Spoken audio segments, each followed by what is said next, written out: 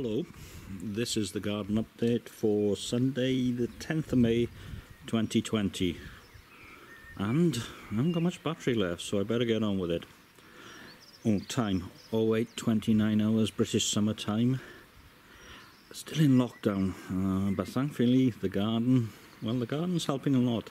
The hedge completely out of control but I don't mind. The lawn could do with a bit more feeding however don't really care because not too much mowing involved. The strawberries, the strawberries are coming along strong and a bit early. Okay, so right in the corner in the heroes, those are radishes.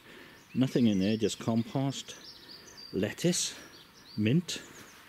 That's going to be more mint, more lettuce, peas, awaiting tomatoes, spring onions, uh, main crop onion. Well, actually not. Summer and main crop onions.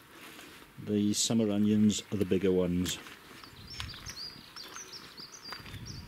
And in here, and there, these are Blue Danube, early main crops.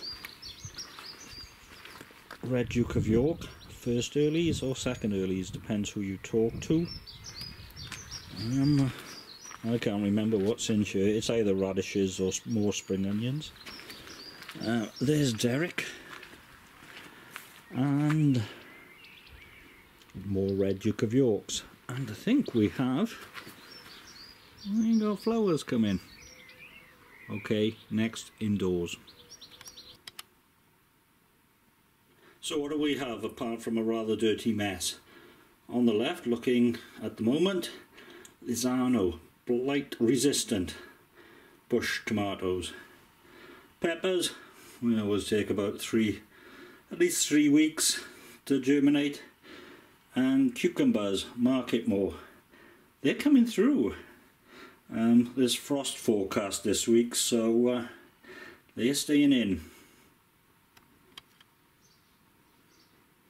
And finally, with a the Lolfest glass from Bradley Tutlol, Yet more spring onions.